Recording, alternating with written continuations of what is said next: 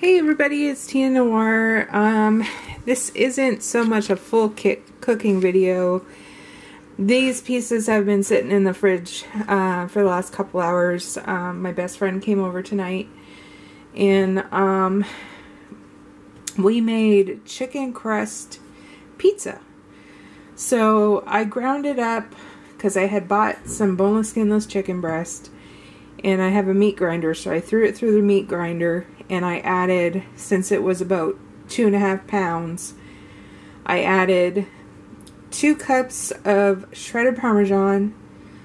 I added two eggs, and I, then I put uh, about three to four uh, teaspoons of both garlic and onion powder, a little bit of seasoning salt, just a quick shake, and some freshly ground pepper and I mixed it all together and I was able to separate it into two pizzas roughly about 12 inches each.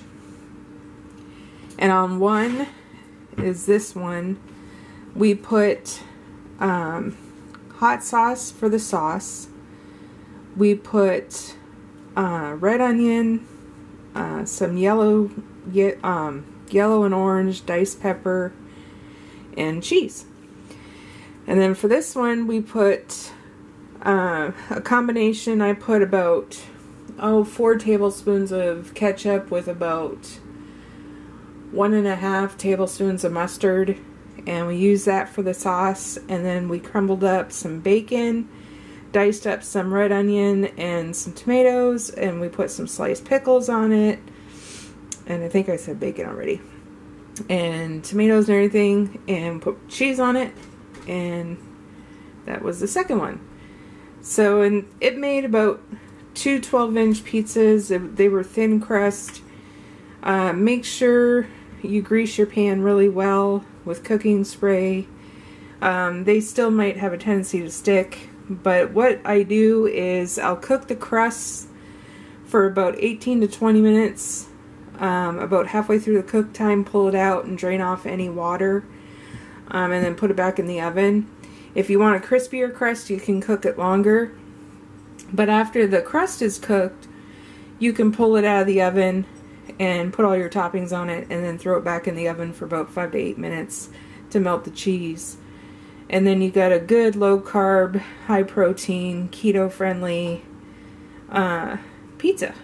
So we did this last time, except we did um, the pizza crust, we just put the whole two and a half pounds on one uh, cookie, or not cookie, but pizza tray, cooked it up, and it made it a thicker crust, so it was a little more soft crust. But we made a chicken Caesar salad uh, pizza with it. It was good. Don't get me wrong. It's just, um, I think even next time we do this, because I want to try to do a Mexican version of this someday, is do it as a thin crust because it seemed to crisp up a little bit better and it was just super yummy and delicious. But I wanted to do this quick little video to show you what my friend and I made tonight. I was thinking of doing a recording of a video, but I realized I hadn't charged my camera battery since the last video I did on the Ohuhu markers. So I still need to charge it. It's just I have enough battery life to do this quick little video.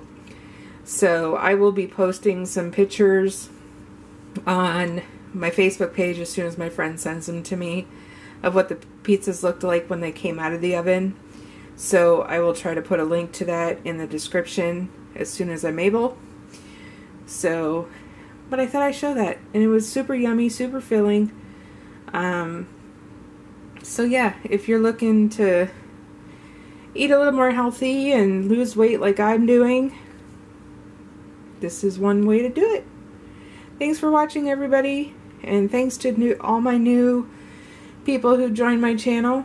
I appreciate it. So take care everybody.